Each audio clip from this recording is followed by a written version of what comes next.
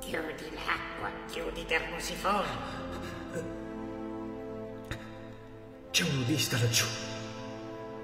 È Gaston. Gaston. Sono tre giorni che gira nudo. Non teme il freddo di quest'inverno. Non lo teme. Oppure ha creduto a tutto quello che gli hanno raccontato. E ora che gli hanno staccato anche il contatore viene a cercarci. Si libererà mai della propria incoscienza. Lui odia e ama la Russia come odia e ama se stesso. La vita di Metanol è una triste storia.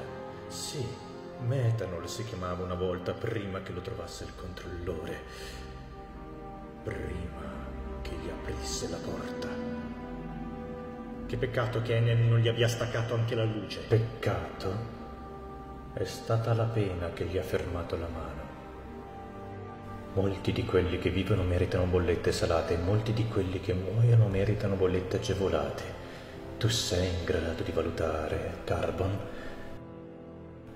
Non essere troppo ansioso di elargire sanzioni ai gasdotti, anche i più saggi non conoscono tutti gli esiti. Il mio cuore mi dice che Gasdum ha ancora una parte da recitare nel bene o nel male.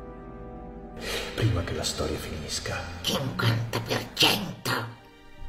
La pietà di Enel può decidere il destino di molti.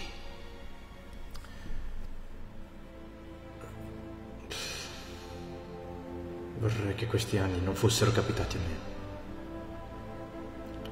Vorrei che non fosse accaduto nulla. Vale per tutti quelli che vivono in tempi come questi, ma non spetta a loro decidere.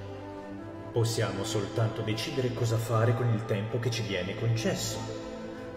Ci sono altre forze che agiscono in questo mondo, Carbon, a parte la volontà degli Stati Uniti. E nell'era destinato a cambiare i contatori. Nel qual caso anche tu eri destinato a fare qualcosa. E se ti dai una mossa un pensiero incoraggiante.